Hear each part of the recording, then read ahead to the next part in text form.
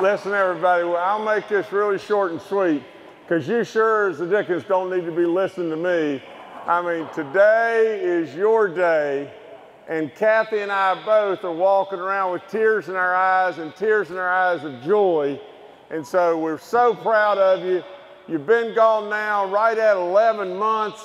I know for your families it's been really tough. It's been really tough on you, but you are and I mean it with all my soul, you are our heroes in every way, shape, form, or fashion.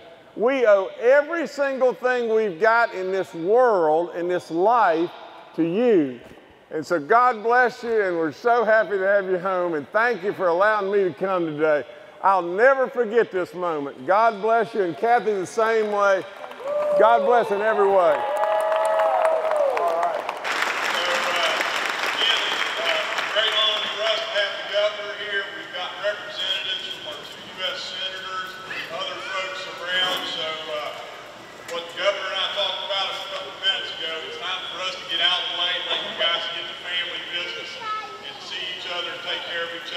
God bless you.